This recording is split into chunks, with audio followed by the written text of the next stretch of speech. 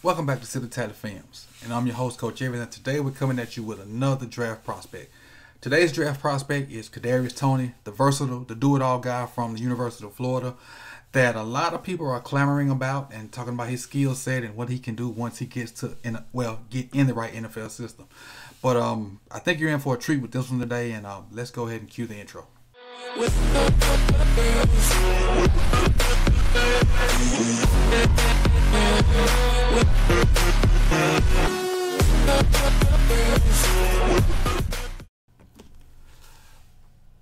Before we get into it, if this is your first time here, make sure you hit that subscribe button. And once you do that, hit the bell notification so you can be notified when I drop these random videos.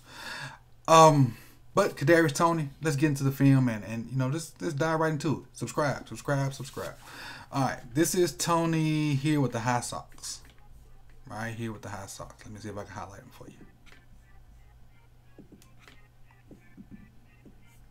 All right, so let's let's watch it and then we'll come back to it.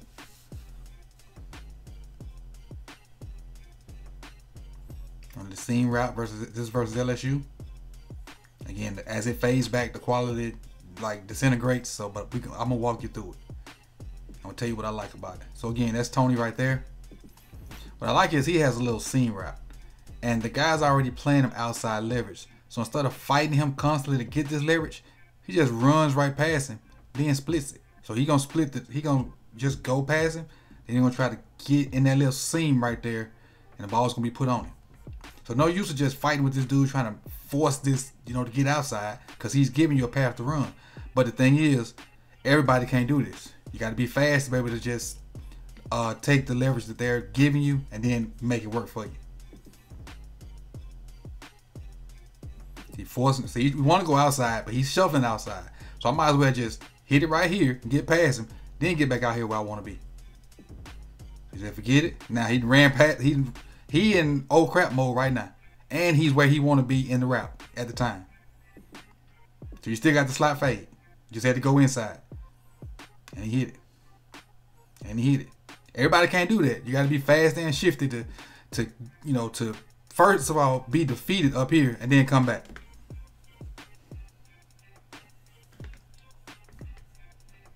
But again, he's fast enough. He's shifty enough to do that. Outside leverage, he's jumping outside, jumping outside. I'm just taking inside and I'm gonna still fade on him. Cause I ran right past him. The safety, not there. He went outside because he had safety help, but he also let him widen out once he once he went inside, he allowed Toney to widen out and then put the safety in no man's lane. Speed to do that for you though. Speed and quickness. Go to play two. Play two, Toney is here with the high socks again. Right there.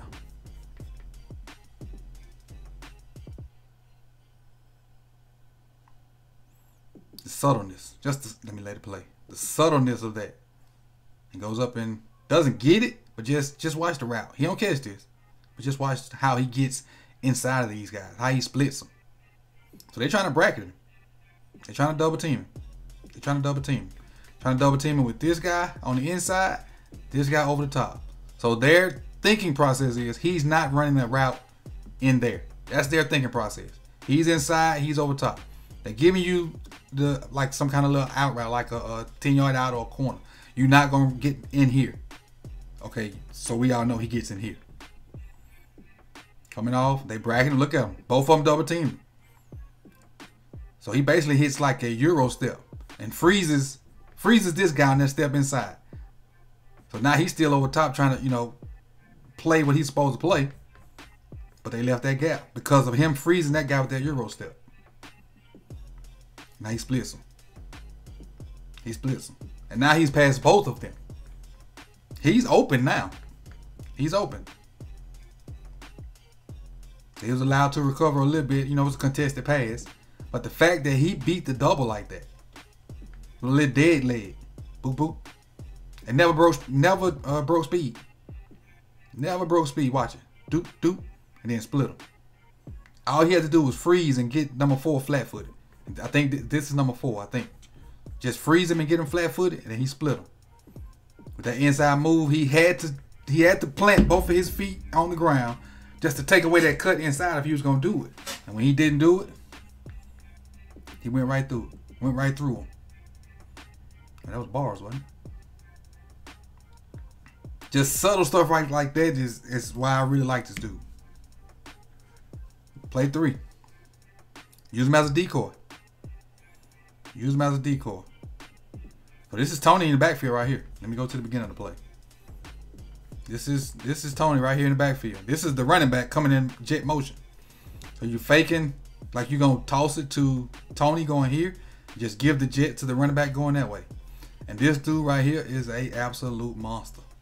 You know, I, I always tell stories about guys I coached against in high school, and Dameon Pierce is one of them.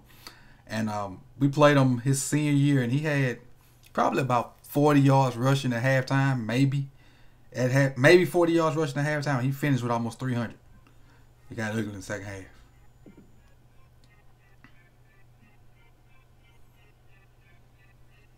All right, but use him as a decoy because he can do so much. All right, play four. Toney right here. They're going empty. Let's see what they get. Mmm. Good route. Good hands.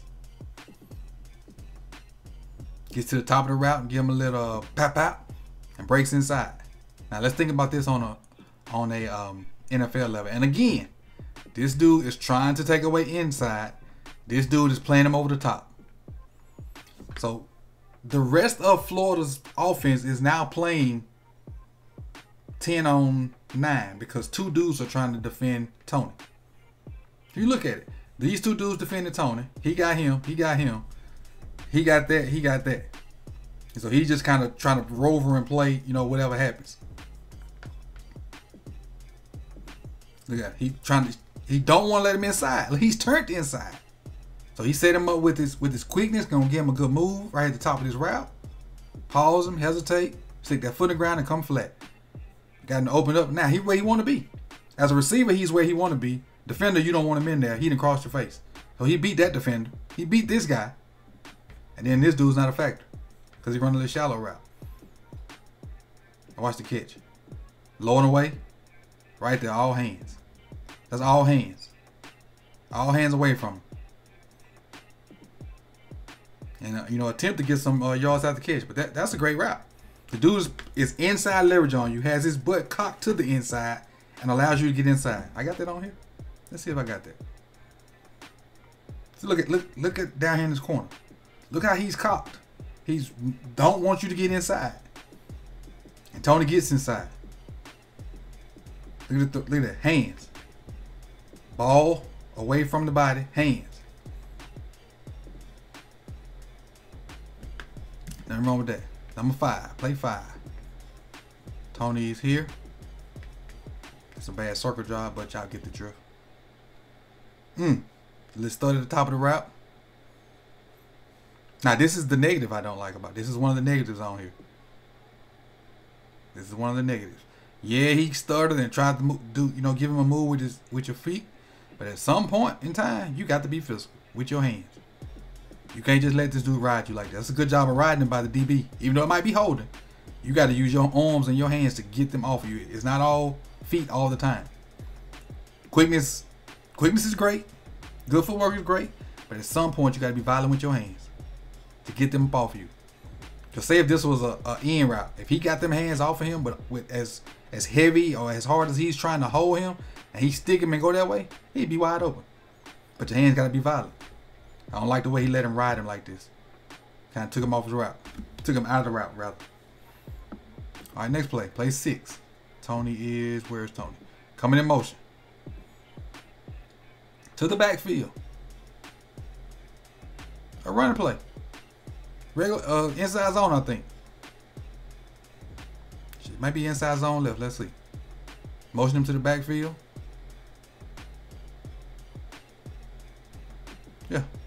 Inside or outside zone. I think it's outside zone. And he sticks his foot in the ground like a running back. Sees the space. Slow two and explodes through and then gets upfield. Make a man, make two people miss, keep his balance. Make three people miss. Weapon. Dude's a weapon. And play seven, he is in the backfield again. Lined up in the backfield. run the wheel route, go up and get it. Mismatch. Mismatch. So now this dude is guarded by, I don't know if they snuck a DB in here, but this is traditionally the linebacker position. So if this is a linebacker, you're in trouble.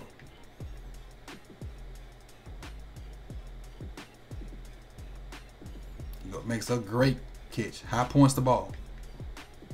Comes down with it, you know, gets another yard or two. But uh, he's a mismatch. Play eight. I don't know how many I got. This may be the last one, may not be. I don't remember how many I clipped. Toney's in the backfield again. Sim in the backfield again. Right here.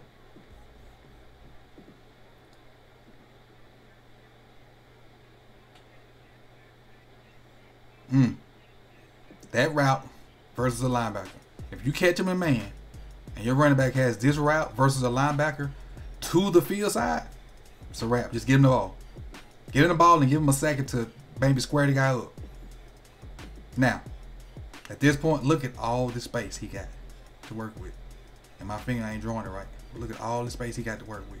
All he got to do is if he can make that guy miss. If he can make that guy miss, look at the space he got to run with. And he does. He makes that guy miss and gets another 15, 20 or so yards. He's a problem. He really is a problem. Next play. Oh, that was the last play. So, my ending. Let me go back to me. Just me.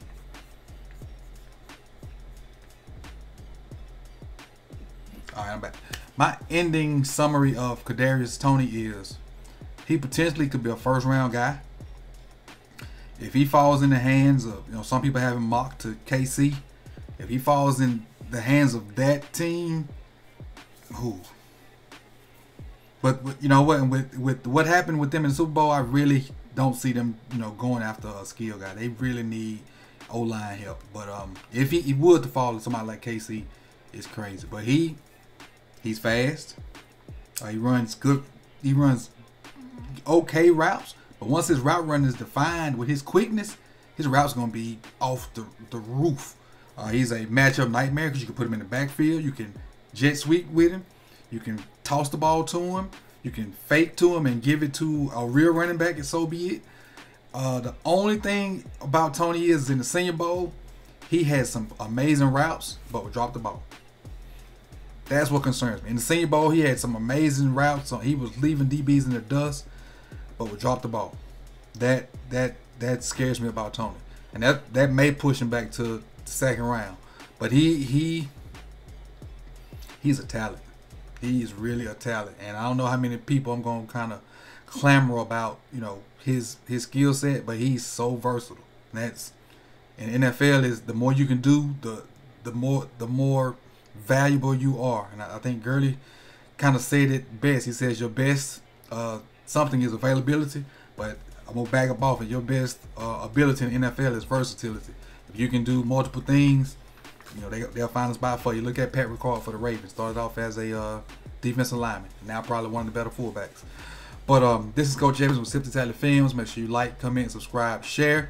Uh, if you want to be a part of Questions with Coach, make sure you get your emails in to sip2tally at gmail.com. And uh, until next time, I got a few more receivers to do before um, my top nine and nine comes out, and I think my next receiver is Dyami Brown from North Carolina. I don't know if I said his first name right, but Brown from North Carolina. And I got three other guys on my board that I can't find film for. One of those guys is the kid from Purdue. That is uh, Rondale Moore, I think. But I got a couple more guys on that board too. But definitely film with, with Brown coming soon. And then we'll you know, I kind of highlight some other guys and whatnot. But if there's any receiver I should look at that I probably don't have film on, where I can go look at their games on YouTube or, highlights on YouTube, uh, put that receiver down there. Somebody you think that's first round, first two rounds worthy that could be in that to break my top nine. Put their name in the comment section and also send your emails to uh, at gmail.com and you know be a part of Questions with Coach. And this Coach Evans, Sip the Tally Films. I'm out. Peace